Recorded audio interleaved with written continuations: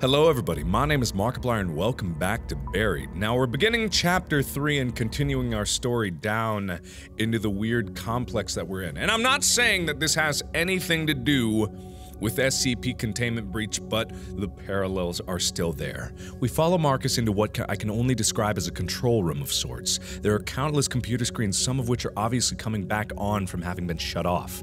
Everything looks extremely complicated, from screens filled with code and data to what is obviously a security system. It reminds me of a miniaturized version of the Operations Center in just about every space travel movie I've ever seen.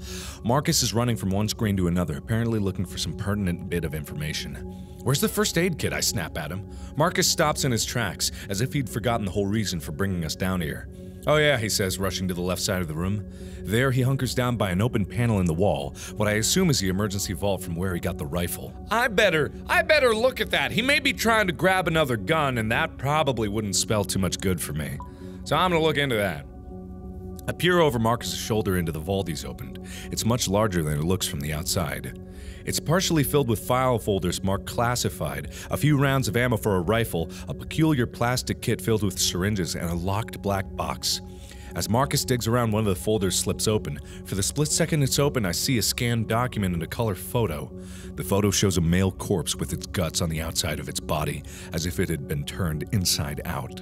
There's also a massive swelling on his head, almost like his skull is about to explode.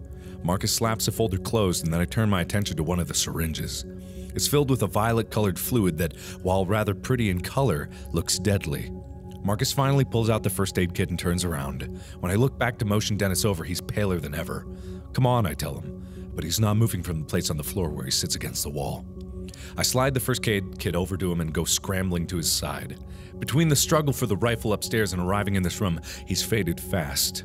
I struggle to lift up his shirt and then over his shoulder as the dried blood holds it in place. The mere act causes him to grimace. This might hurt a little, I tell Dennis. He only nods. He doesn't seem to care. Ooh. Well, I mean, ripping off a band aid is one thing, but this is an open wound. I mean, gently might be good, but ripping it off quickly might also do some damage. I mean, the common instinct would probably be to rip it off quickly, but when it's a wound of this size, I think gently is the only way to go about it. Yeah, well, apparently that was important.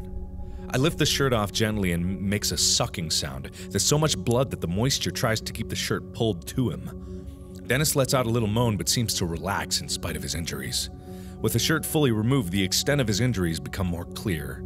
His wound is more visible now, although it's partially hidden by the blood that has started to clot around it. My medical knowledge is slim, basically just a bunch of basics I learned in Boy Scouts. I look over to Marcus hopefully and ask, You have any training? Zero, he says. Sorry. It's just as well, I guess. He's far too concerned with what's happening on the monitors to be of much help anyway. I start by taking out several rolls of gauze within the kip and wipe as much blood as I can away from the wound on his side. It's even worse than I'd figured from the start. The gash is deep. I'm pretty sure it's infected, too. He's going to need stitches, that's for sure, but I have no idea how to even start that. Besides, I don't see the tools for it in the kit. When I splash rubbing alcohol over the wound, he responds with a hoarse yelp of surprise, but nothing more. His eyes are locked on me and he looks appreciative, but he's also scared. Be honest, Dennis says hopefully. How bad does it look? You think I'll live? Oh man. It looks really bad, Dennis. I mean, it does look bad, but I, I've been reassuring him this whole time. See, I think he'll be fine. He's gonna pull through. Yeah. Good to know, he says, but I sure don't feel like that. You've been through hell, I say. I think it feels worse than it actually looks. Thanks. That's a relief. I won't lie, you're gonna have a scar, I say, trying to be funny. He chuckles a bit, but there's no humor in it. He rests his head against the wall and closes his eyes as I finish up. I place one layer of gauze against the wound and bind it with medical tape. I then reinforce it with the second layer. I know it's meager, but it's all I can do. Thanks, Roger, he says, actually managing to force out a smile. I feel a lot better. I think I'll be fine. I'm not so sure about that, but I'm glad I was able to encourage him. Finally, I patch up the bruises on my head a bit, cursing myself again for not grabbing my hard hat. I know I'm an idiot. I look back at Marcus and he's really looking back at us deep in thought. My eyes starting to really swell up from where he kicked me earlier. Maybe I shouldn't have let him off so easy. Are the first aid kits all you have in this facility? If there's something better, I don't know about it. I notice then that his defensive posture is no longer there. Something is different now, just a slight change in his demeanor. He's seen something on those monitors that has him frightened, more than he already was before. What is it? What's wrong? His eyes travel around the room and it's obvious that he's trying to decide whether or not to tell me the truth. If I ask him, he's probably not going to tell me, so I'm going to take a fucking look at this. Rather than wait for him, I get up and scan the screens behind him, seeing if I can find any clues I'd missed moments ago. After a few moments, I see a few things that even I can comprehend hidden in the complex information on most of the screens. On one screen, I see what looks like a power meter that's slowly climbing upwards. A single message is flashing beneath it. It reads, Unexpected power failure, foreign entity. Another message trickling along the bottom of a black screen says, Safety locks on level 3, containment doors engaged. Override? I see still scenes on a few other screens that I assume are security cameras showing hallways and passages from elsewhere in the facility. One of them shows the first level hallway we were on just a few minutes ago. Another shows a hallway I don't recognize. The floor is covered in blood. From just off the screen, I see what I think might be a human body, but it's bent in an impossible way. It looks like the body's legs and torso have somehow been merged or melted into the floor. Is it more important to say what's wrong with the systems, or is it more important to say what is wrong with that body on the ground that's melted into the floor? I'm kind of curious about that. I have no idea. I didn't see it. Whatever happened to that guy must have happened in the last minute or so. Well, that's not good. What the hell? There's something still happening? Are we still in danger? He turns away, clearly fearing he has already said too much. And as bad as that is, there's a scene on another monitor that makes my blood go cold, and my fear spike to levels somewhere near terror. The scene is very familiar. It's the logging site. The equipment is unmistakably mine. I can even see my truck. Something like fury starts to rise up in my guts, momentarily pushing aside the fear. For a moment, I consider just tearing into him. A few punches and a shove against the wall, nothing more. I want answers, and I want them now, but I'm not sure which would provide more answers asking calmly or kicking his ass. He's scared. I'm scared. He's angry. There's no reason to escalate. He knows us. That's why in the last episode, he sort of saw some truth when we said that we were loggers. He knew this. He was watching us. Of course they would. They're complex. They're going to have security cameras all over the location that they are to make sure that no dumb lumberjack just stumbles his way in. I'm going to ask him calmly. Could you please explain to me why you've been spying on my crew? My anger is prodding at me and I have to hold it back again. It's near the surface, demanding a release. It was part of my job, mine and a few others. Your crew has been watched ever since you set up your equipment. Why? Because you're working with heavy equipment, some of which digs into the ground less than a mile from a secret government facility. I had no idea of that. How could I have known? Marcus gives me that same crooked, trembling smile that's beginning to creep me out. Because those things would draw attention to this place. You have no idea how secretive this facility is. Besides, I know that the higher ups looked into it. Your site isn't on government land, it's shy by about 300 yards. Every piece of your equipment is on private property, the timber contract you purchased from Mr. Gladstone two months ago. So even if we wanted to intervene and keep your crew away, we couldn't have without stirring up a fuss. The fact that someone with such a low level clearance knows this much about my logging crew is unnerving. If you've been watching us, why didn't you recognize us when we met in the hallway? I ask. He shakes his head and exhales, like it's obvious. The cameras don't have a bird. The cameras have a bird's eye view. I can't see faces. We just track bodies and, and names. Now this is the point. Probably the anger's building up in this guy, in me, because I want to know where my crew is, and this guy has probably seen what happened, unless the power went out at the exact same time, and he didn't see what happened to my crew. I mean, I'm angry. I know that. I want answers out of this guy. And this guy's a creep who's never seen anybody, but I still feel like being calm is the only way to get out of this. I want to yell at him, and if it comes up one more time, I'm gonna yell at him, but I'm gonna try to be calm about this. So, since you have all this surveillance, do you know where the rest of my crew is? I do my best to keep my voice level, even though my impulse is to shout. Well, all of you were on site as usual before the incident. It had a few hours since I had checked, though. They might have come near the facility, or maybe not, I don't know. He says this casually, like it's not important. Well, are they inside the facility? You have cameras everywhere, right? Do you see them? Marcus shakes his head. I've been looking all over and I haven't seen your crew. They aren't here. But The lower levels don't have any cameras, classified. I'm not sure how they would have gotten there, but it's a possibility. I'm still shocked that we were being watched. Do they know everything about us? I'm telling you, the depth of influence in this facility goes deep. There are 36 employees down here. Outside of those employees, only five other people know this place exists. Yeah, I'm done asking calmly. I'm done being jerked around with this guy not giving a shit. I'm gonna ask him, what the hell goes on here? He doesn't even pause to consider if he should go any further. He actually laughs when he gives me the answer. I honestly don't know everything, probably very little. But what I do know is that is more than black ops. What does that mean, I ask? There are scientists here who've been disowned by their own governments because of the nature of their work. You get it now? I don't. Not at all. But I don't want him to know that. You said there are 36 employees. Where are they now? He shakes his head. As far as I know, everyone else is gone. Gone where?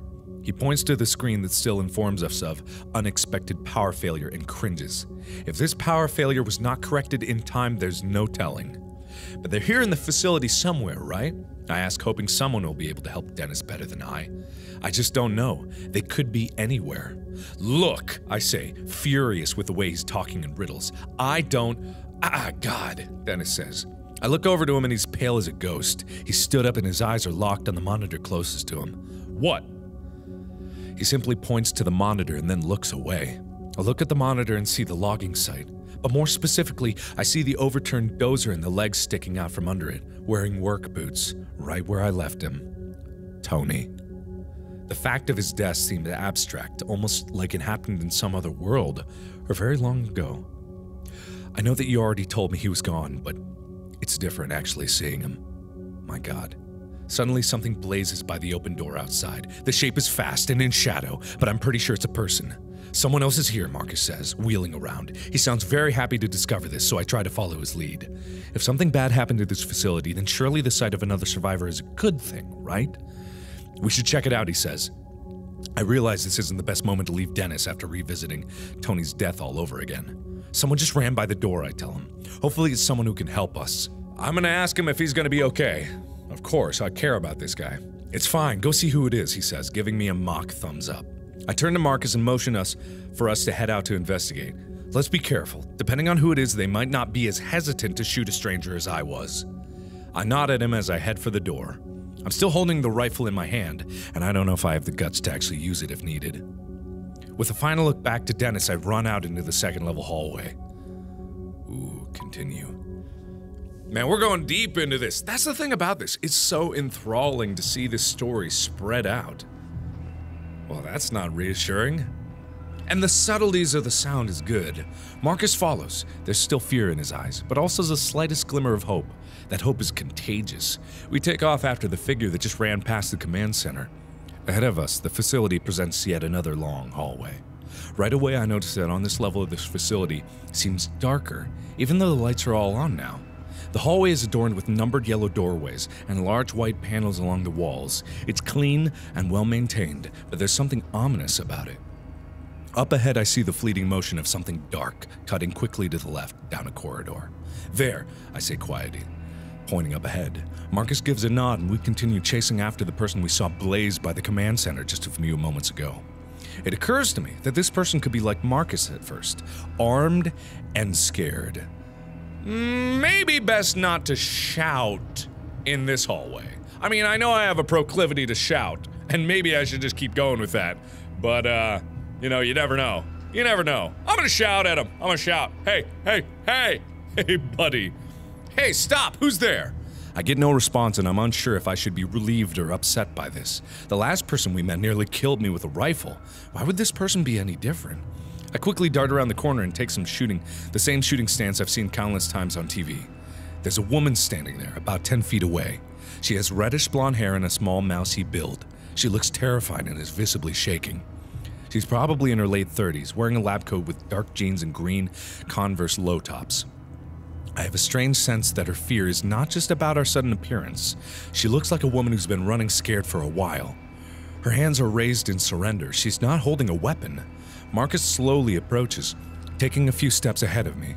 It's Amy, right? he asks. She blinks, seemingly surprised that he knows her name. Yes, A- and you're Mark. Marcus. She nods absently and then looks to my rifle. I'm not gonna use it. She's obviously scared. I was worried that this wasn't even gonna be a human that we find. I'm not gonna use it, but Marcus knows her. Now, how do I know that? She asks. You're trespassing on government property in the midst of a huge catastrophic event, and you have a rifle. How am I supposed to believe you? I have a friend back in the command center who needs medical attention, and we're looking for the rest of our crew. I'm really sorry, but I don't know where they are, she says. Do you know what's happened? From the power outage. I don't know what caused it, she says, but there was an experiment taking place when the outage occurred. Something happened and. She trails off here, giving me a look of distrust. I saw things on the security monitors. The experiment failed, didn't it? I don't know the specifics. I barely escaped the third floor. I was gonna go to the command center to see if the security footage showed anything, but then I saw you and the gun.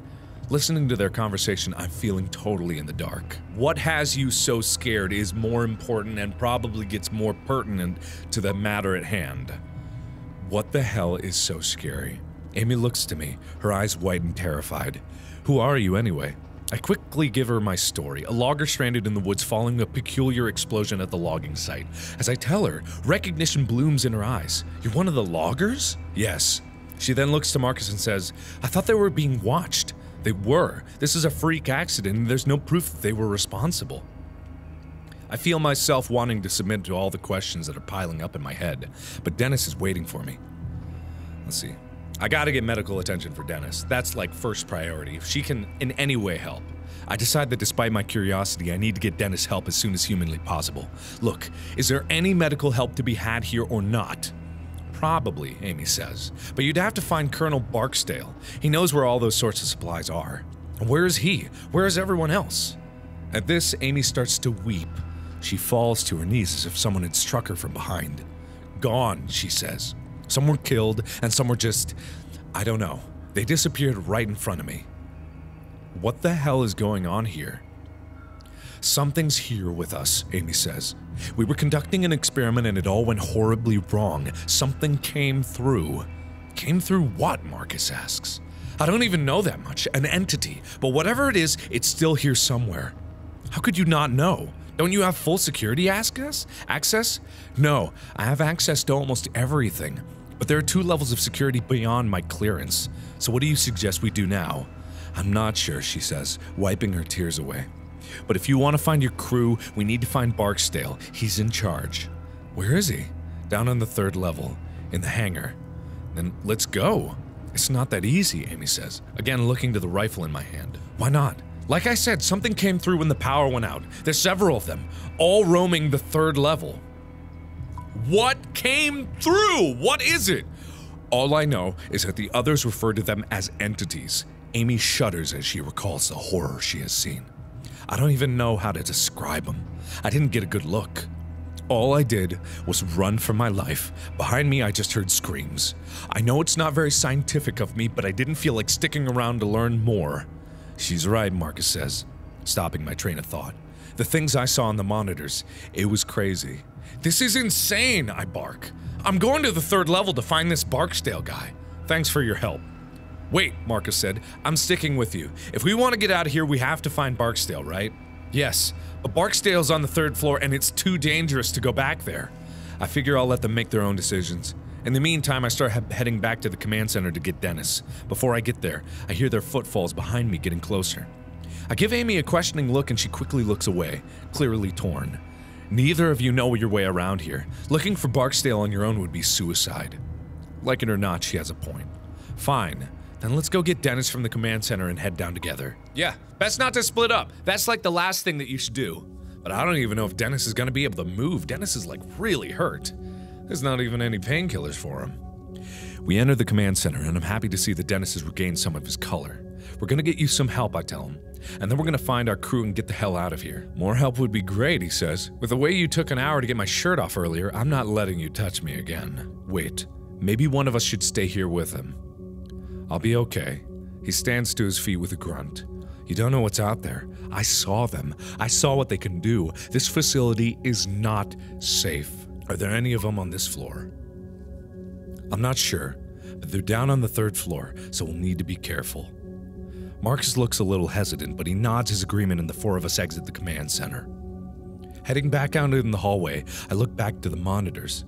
I take a final look at the screen that shows my wrecked logging site and I feel a pang of sorrow. Then I look to the other monitors showing live feed of the facility's security cameras. I try to tell myself that I'm not looking for any sign of Amy's creatures, but I can't. That's exactly what I'm doing, and there's no need to pretend otherwise. We head back through the hall and towards the elevator. The tension exists between us is like a physical presence. Oh, this seems like a bad idea. We step inside the elevator and those pristine doors close. Inside the elevator, Amy seems to become much more guarded and distant from us. I want to assure that I mean her no harm, but I'm also not going to put the rifle down. So you have pretty high clearance in this place, right? That's right. So what kind of experiment are we talking about here? What went wrong?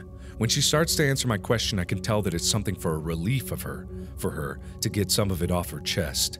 There's been a lot of work on the project taking place over here over the last three years or so. The purpose is to find out if there's any real viable science behind point to point instantiation. Like teleporting? Oh my god, I had no idea. I knew there was some weird stuff here, but nothing this insane. It's really not all that insane. We found our first major breakthrough about nine months ago. We were able to transport a live rat from its cage on level 3 to a small lab in New Mexico. The trick took the rat five seconds. Are you kidding me? I can tell that he wants to sound as if he's mocking the idea, but he fails. He's scared.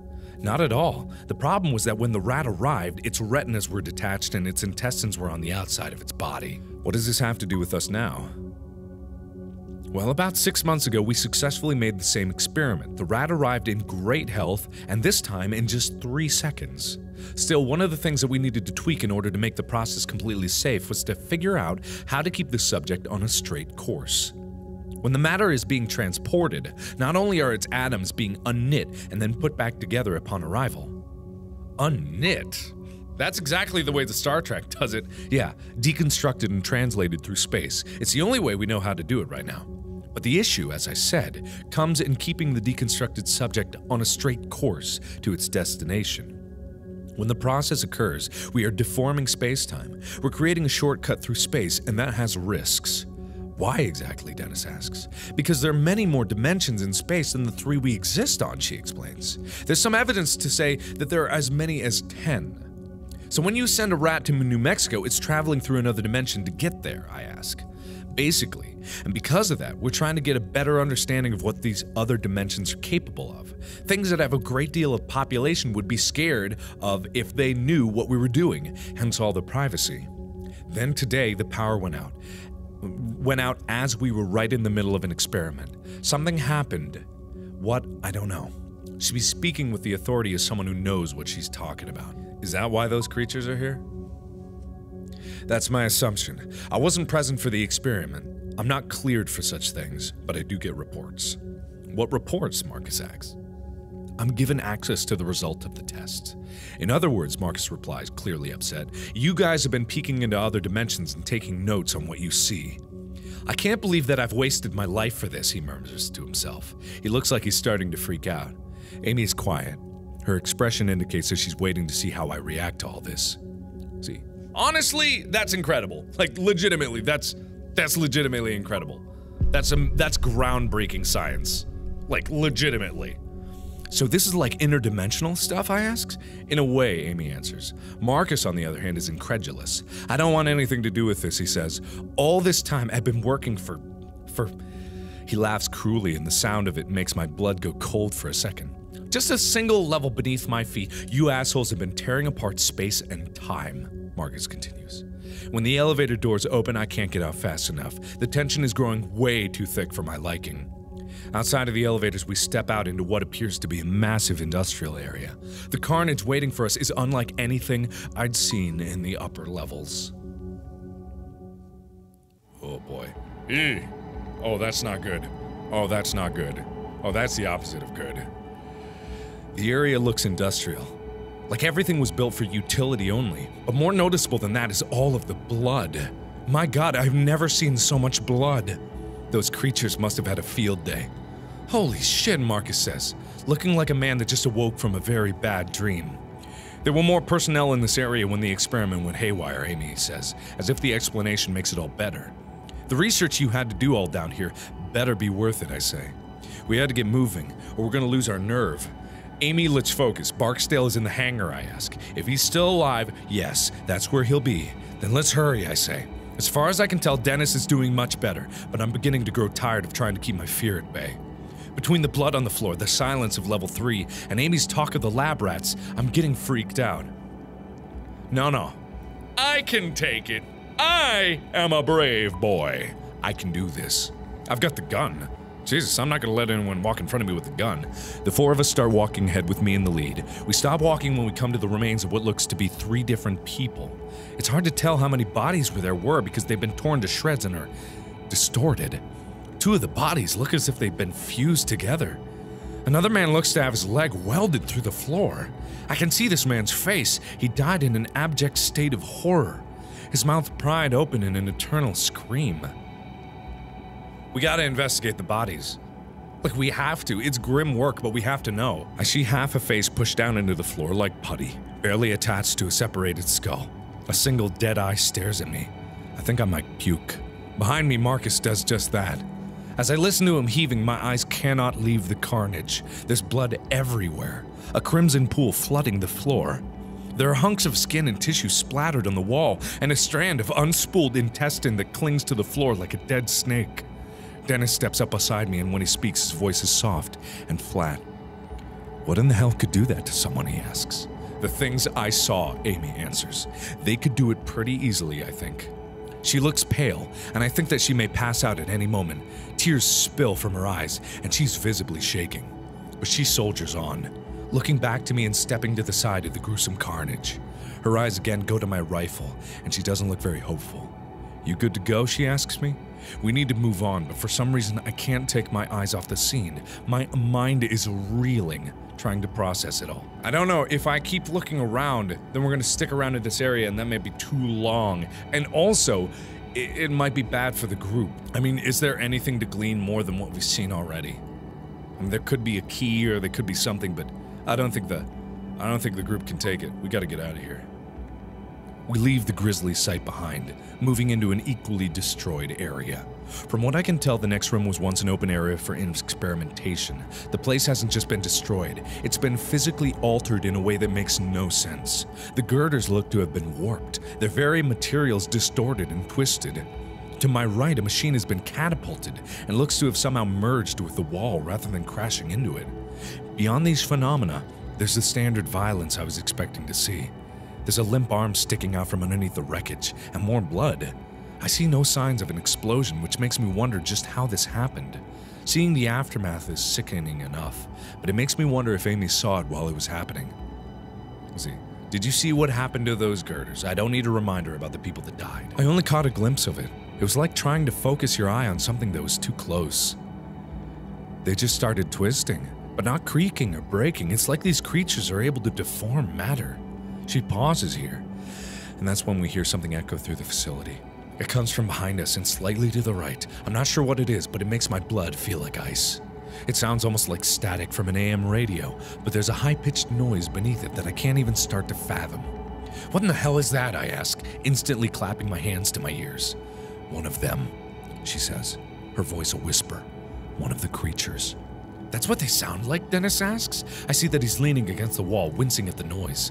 I suddenly realize that I have a death grip on the rifle, ready to shoot at the next thing I see. Anything between us and them? Not really. None of the hallways are blocked off by secure doors. Everyone seems to take this as the cue to start moving again. We make our way around the office wreckage, now with new purpose in our step. We barely make it to the other side of the room, approaching a dark hallway when another high pitched noise sounds out. This one louder, closer. We all share a terrified look, and I can tell that Amy is on the verge of losing it. I grip my tight rifle tightly as we head towards the hallway in front of us. How much further to the hangar? Close. It's just at the end of this hallway. Dennis speaks up, his voice like ice. Why don't we just haul ass then? No one says anything after that, but I can feel the presence of terror around us, pressing in on us like some new, violent gravity. We gotta move out of here. This is a bad place to be caught out in the open. That is even more blood. This is blood everywhere. The small utility hallway is well lit. It looks as if it was designed to only be used by select maintenance workers. What goes on in this area, I ask. I'm looking at Marcus and I ask questions, but he only shrugs in response.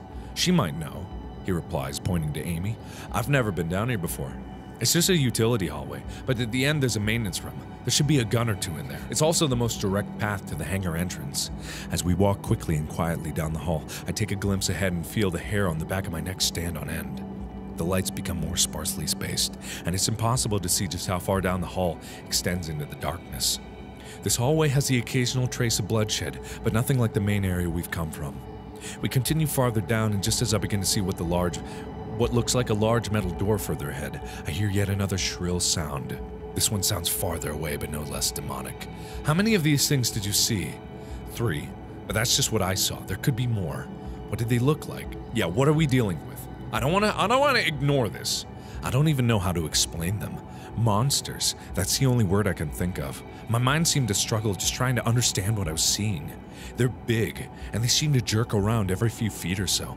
They look like they're made of light, that's about all I know for sure. You know, my ex husband always said I'd let my work kill me, she continues, seemingly unable to stop herself. I mean, I doubt he imagined this exact scenario, but still. As we make our way to the hangar doors, another high pitched scream rings out, angrier now. Amy stops walking, causing all of us to stop and turn to her. We have to do something to slow those things down, she says. No, there's no time. We need to distance ourselves and get to the hangar. Fast. Amy ignores him, deep in thought. There's an old hydraulic door set into the wall right here. It hasn't been used for years, though. She looks to me, pleading her case. Together, we might be able to pull it closed behind us to keep those things back. Those old hydraulic doors weigh a ton. There's no way it'll work. Roger, what do you think? They'll have a harder time getting to us if these doors are locked. Look, Marcus shouts, we need to get to the hangar now. Okay, there's one person in this group that has survived these things, and that's Amy. I don't know if it's blind luck or actual intelligence, but I'm guessing that she knows what she's supposed to do. We're gonna close those damn doors. Damn it, Marcus says. We don't have time for this. Amy ignores him and starts feeling along the hallway for a groove. Dennis and I start looking as well. A minute passes, then I see a small metal frame that runs from the floor to the ceiling. Is this it? Is this it? I ask. Yes, Amy says. I look to the floor and see an old metal track that runs along the frame. Let's move it, I say. Amy, Dennis, and I start pulling as hard as we can, but it barely budges an inch. Behind us, the static noise rings out. My heart seems to stutter, and Mark lets out a little whine. We're running out of time. We need to go. Those things are getting closer every second. Help us, Marcus. If Marcus just gets off his ass and help us, it won't make a difference. We shut up and help us, and then we'll find out, I shout.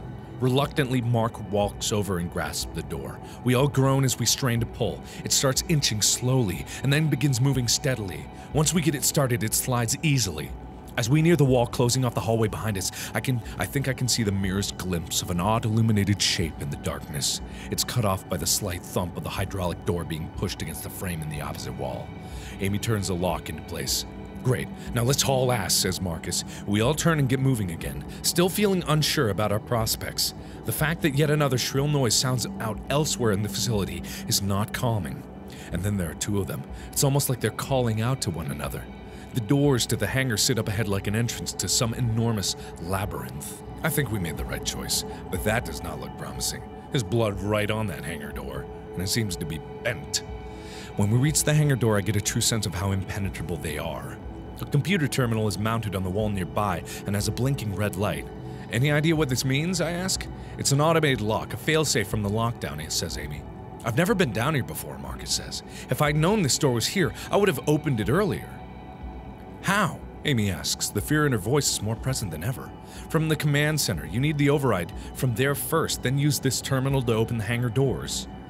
The command center on the second floor, I ask? Yeah, Amy shakes her head and lets out a nervous laugh. Are you kidding me? We just pulled that hydraulic door and blocked off the hallway, remember? If we want to get into the hangar, we have to get back to the command center. Isn't there another way? Turning to Marcus, Amy replies, Well, there's another elevator, but we'll need to go through biochem storage. I need to stay with Dennis so he can rest. You two go. You know your way around this place, and you know the controls, Marcus. Fine, but we'll need to be armed. Oh, The thing is, Amy doesn't know how to use the gun. Marcus does. He's been trained for that. As much as I don't like Marcus, he's the one qualified to do it. Amy is a scientist. What training would she have in that? But then again, I like. I do trust Amy more, but I can't be guaranteed that Marcus isn't gonna do something stupid. God damn it. Oh, this is a bad choice. This is a bad choice, but I think I'm gonna give it to Marcus just because. Just because Marcus has have the training. And then again, I don't know if Amy doesn't have the training. Marcus didn't shoot us. That's the thing. He, he had enough self-control, even though he was scared, not to shoot us. I don't know what Amy would do. I'm just gonna give it to Marcus. Because Amy could be like a sole survivor instinct, but then again, Marcus could be too. I'm gonna give it to Marcus. It's his gun anyway. I hand Marcus the rifle and he turns to go. Amy gives me a concerned look, but follows along behind him. Once Amy and Marcus made it a good distance down the hallway, Dennis lets out a nervous laugh. And then there were two, he says. Dennis looks much better, but he still needs to use the wall to stay standing. Didn't Amy say that there were guns and emergency kits in the maintenance room near the hangar doors? I ask. Yeah, I think so, Dennis says, looking exhausted. I look ahead and see a door to the right that reads maintenance. Might as well give it a try. I go to the door, try to open it, and find that it's locked. No, I don't want to kick it down. My knee's bad. My knee's bad. I'll push it with my shoulder. My knee is bad. I give it a hard shove, but it doesn't budge. I'm about to try again, but that's when I hear the dry choking sound from just down the hallway. It's barely audible, but it's not my imagination. My first thought is that it's one of those things, one of the monsters, but after calming my nerves and reassessing, it sounds more like a person. I think about how angry and on edge Amy was when she turned to leave, as well as how scared Marcus had looked. Alarm bells sound in my head, and before I know it, I'm heading back down the hall away from the hangar doors. Stay here. I'll be right back, I whisper over my shoulder to Dennis. See if you can figure out how to get into that maintenance room. Where are you going? he asks. I don't bother answering him as I bound through the door where Amy and Marcus went. Oh no. Did I make a goof? I better not have made a goof. That's a lot of blood. I would have heard a gunshot. As I enter the biochem room and start walking between the massive silos, I wonder what classified chemicals could be inside of them. I'm fully expecting one of Amy's creatures to come flying out from the intersection of halls up's I think I hear something, a skittering noise, like something moving quickly. I run ahead so fast that I almost trip over two people in a life or death struggle.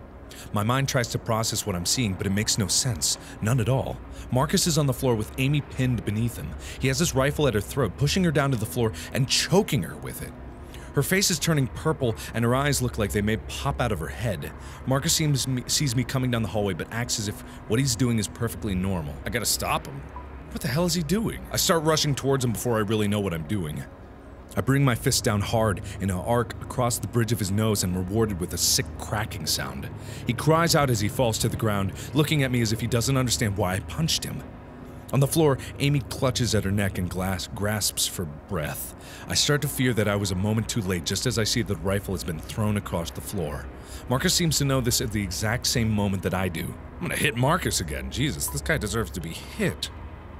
I deliver a surprisingly strong blow with my right hand, clipping his chin from my awkward position. I'm in the process of planting a knee in his chest to hold him down, with his left foot comes out of nowhere, landing hard. The kick catches me squarely in the ribs, knocking the breath out of me. What the hell are you doing? By killing her, I'm saving us all. All of this was her fault. I sense that he truly believes this, but if that's the case, then why not just shoot her rather than strangle her with the rifle? The answer is simple. We would have heard the gunshot, and I, or those things, would have come running. He wanted to kill her quietly. And then what? Would he have done the same to Dennis and me? It seems fitting, really. When we first came upon Marcus, he held a gun on us. I'd been so relieved to see another human being that I'd underestimated just how unhinged he was. Marcus and I both dive for the rifle, but he's still laying on the floor, and start wrestling for possession, but I'm not confident I'll come away with it. As we struggle, he starts inching the muzzle of the gun towards my face, a position I do not want to be in. I start pushing back hard. But if this thing accidentally fires, I'm not sure where I'd prefer the bullet to go especially in this room full of chemical tanks. Force muzzle towards Marcus. Oh boy. Oh boy. What the fuck is going on? What the fuck is going on? I grunt as I push the muzzle to point towards his face. Realizing he's literally looking down the barrel of a gun, Marcus ducks his head out of the way. This makes him lose leverage, allowing me to yank the gun from his grip. I get to my feet as quickly as I can, swinging the rifle back around on him. For a moment, I think I've knocked him out, but his eyes flutter and he looks to me as if I've betrayed him. Her people. It was them that did this. She deserves to die. She did this. I look to Amy and wish I could help her. I'm relieved to see that she's managing to draw in a few breaths. Her legs move as she tries to push herself into a sitting position. You wouldn't know. You didn't work here under their secrecy. You don't know what it was like to. He surprises me by lunging towards me, leaping from the floor like a human projectile. I don't have time to aim carefully. I have to react fast. I, I can't shoot him. That, that would defeat the entire purpose of this. I have to try to dodge, but he's probably going to hit my knee, and it's going to be damaging. But it's better than shooting him. His aim is poor and his strength is failing, so I dodge him easily. Oh, okay then. I don't want to have a gunshot go off and alert those creatures to where we are. Make a hard jab of the butt of the rifle, striking him in the chest, something that crunches, and he lets out a whoosh of air. He crumples for a moment and then goes to his knees. He roars in pain on the floor. Only, after a few moments, I realize that they're not purely screams of pain. The bastard is calling for them, calling for those creatures to come for us. This place is evil, along with everyone involved. If you take her, are taking her side, then you deserve to die too. If you want to stop me, you'd better do it now, you coward. The rage in his eyes at Amy, as well as towards me for stopping him, makes me think that he'll deliver on his threat. I'll raise the rifle again, every urge in my body wanting to make sure that he doesn't come back to bite us. But I'm not a violent man. I could not easily kill him and just leave him behind. Ugh. I'm a forgiving guy, but this is ridiculous. Like he he's obviously scared and unhinged. He's it's not like he's possessed by the the demons. He's just not thinking rationally. He's been in complete solitude for months at a time, maybe even a year, just in this place alone with no one telling him what's going on. And he finds out that it's something that he staunchly opposes. If I if I kill him, then I'm shooting him, and it defeats the purpose anyway. God, I don't want to. I don't want to. Just like when I could barely shoot earlier as he was coming at me, I can't bring myself to deliver a kill shot. I ignore him and lean down to Amy. You okay, I ask? She nods slowly. Have to go, she says. They'll be here any minute, too much noise. I have to hold her arm so she can get to her feet. We start forward and then I think of Dennis. We should go back to the hangar doors. I can't just leave Dennis there. There's no time. You need to come with me up to the command center now. We'll be back for him soon. You're all dead now anyway, Marcus shrieks. If they don't get you, I will. He laughs maniacally after saying this, hooting like a madman. As if in response, a high pitched noise tears through the hallway. I seem to feel it in my bones.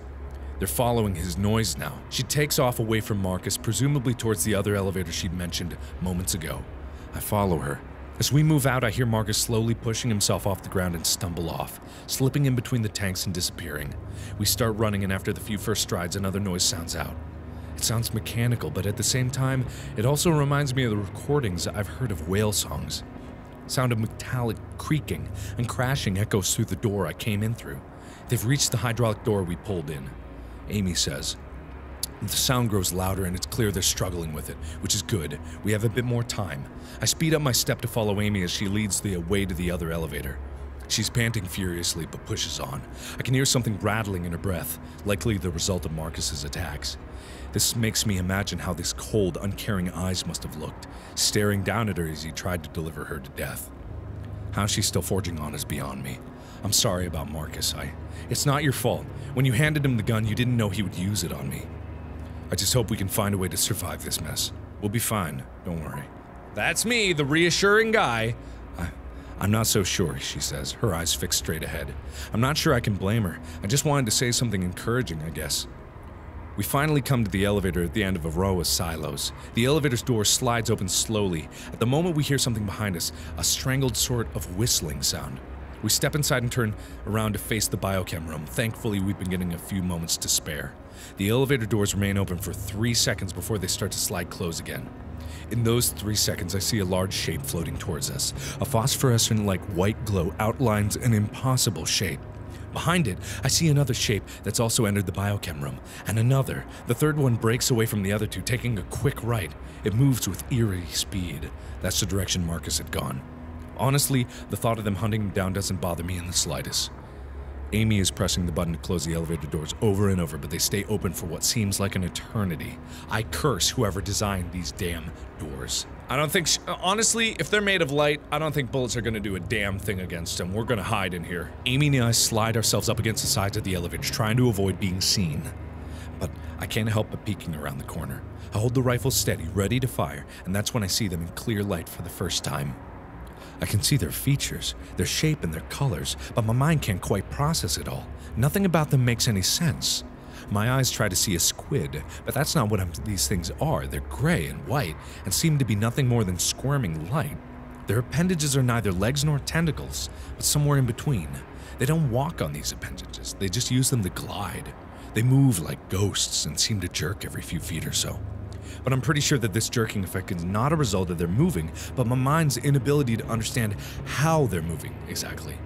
It's also more than their appearance that makes a mockery of reality. The light around them seems to bend inward, as if the space within the room is to reshape itself for their existence. That peculiar effect on the air makes their movements seem like something moving underwater, only faster. They screech in unison as they rush towards the elevator. They'll be inside here in another few seconds. I check the rifle and see that my ammo is diminishing. I have to start staving my shots. I'm going to have to be choosing. But wait, I haven't shot it yet. It's never been shot. Oh man. I have full faith that this elevator is going to close. But should I shoot at them? They already know I'm here. They're right in front of me. At least if I shoot at them, I'll know if it affects them. That's important. Uh, they're saying my ammo is diminishing, but I haven't used my bullets yet. I did not shoot Marcus. I think I can spare a bullet at this one.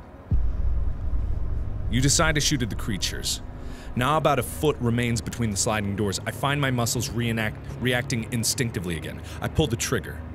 The shot fills the elevator and there's a thunder in my ears.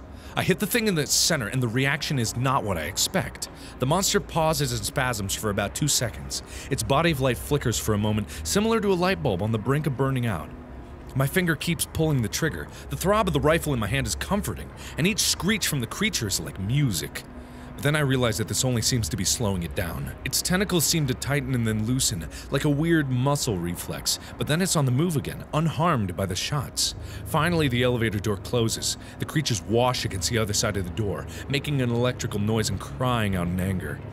The tips of their spider like appendages poke through the wall and elevator door, but for some reason they can't get all the way through.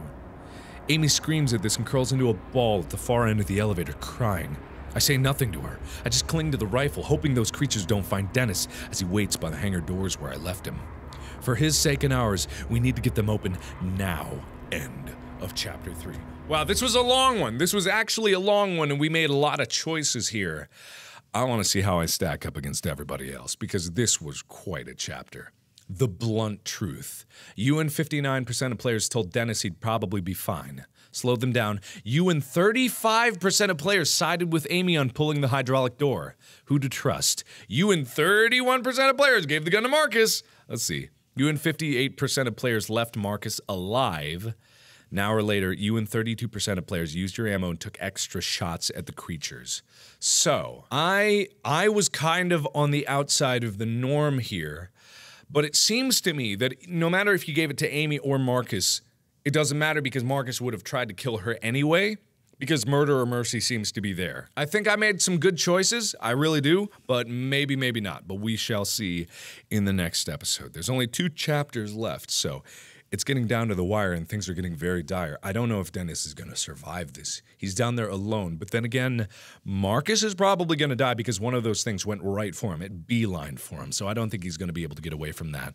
I think we're going to find Marcus's corpse very soon. But Dennis, if he could get into that maintenance closet and get a gun, maybe he has a chance, but I'm not 100% sure. But either way, thank you everybody so much for watching. And as always, I will see you in the next video. Bye bye!